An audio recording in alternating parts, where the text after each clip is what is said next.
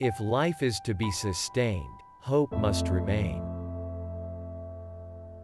Doubt is the brother of shame.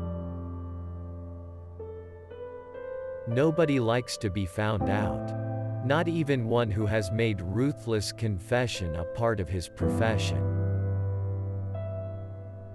In the social jungle of human existence, there is no feeling of being alive without a sense of identity. The fact that human conscience remains partially infantile throughout life is the core of human tragedy.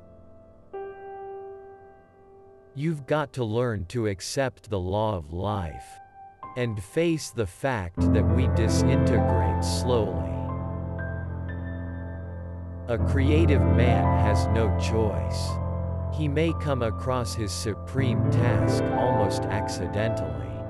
But once the issue is joined, his task proves to be at the same time intimately related to his most personal conflicts to his superior selective perception, and to the stubbornness of his one-way will. He must court sickness, failure, or insanity in order to test the alternative whether the established world will crush him or whether he will disestablish a sector of this world's outworn fundaments and make place for a new one. A man's conflicts represent what he really is. Every adult, whether he is a follower or a leader, a member of a mass or of an elite, was once a child. He was once small. A sense of smallness forms a substratum in his mind.